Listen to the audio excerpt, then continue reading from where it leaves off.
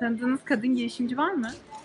Var şöyle buralar e, YouTube kanalı açma hani onlar çok meşhur olduğu için, popüler olduğu için e, Duygu Özarslan'ı tanıyorum kadın girişimci olarak. Böyle. Teşekkürler. Rica ederim. Sence e, girişimcilik ekosisteminde kadının varlığı neden az?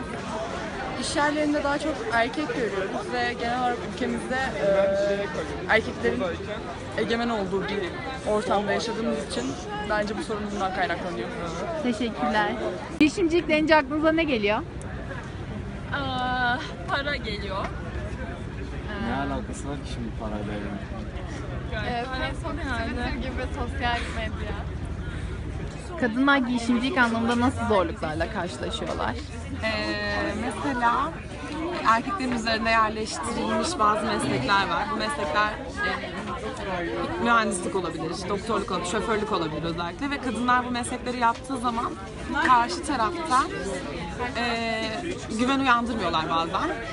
E, bu yüzden bu gibi zorluklarla karşılaşabilirler.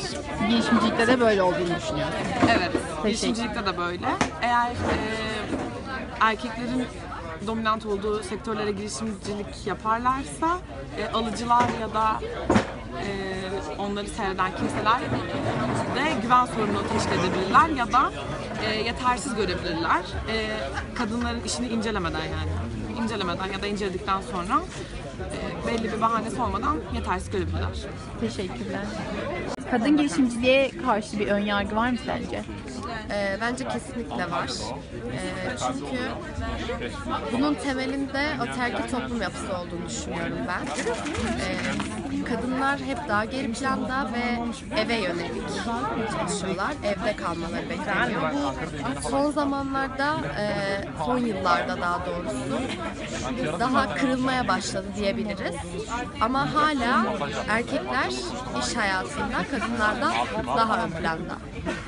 Maalesef. Teşekkürler. Sizce kadın girişimci sayısı ülkemizde neden az? Ee, Bence ayrımcılıktan dolayı. Çünkü ülkemizde hala böyle zaman ne kadar ilerlemiş olursa olsun ataerkil bir yapı söz konusu ve kadınların çok teşvik edilmediğini düşünüyorum. E, Ve ellerine fırsat verilmiyor. O yüzden yani ayrımcılık. Teşekkürler. Sizce ülkemizde kadın girişimci sayısı neden az? Ee, Bence e, kadınların girişim yapmaları konusunda çok sıkıntılı bir sermaye durumu söz konusu. Erkeklerin girişim yapmaları ya da e, business alanında kendilerini geliştirmeleri sermaye yönünden çok daha rahat olduğunu düşünüyorum. Teşekkürler. Rica ederim.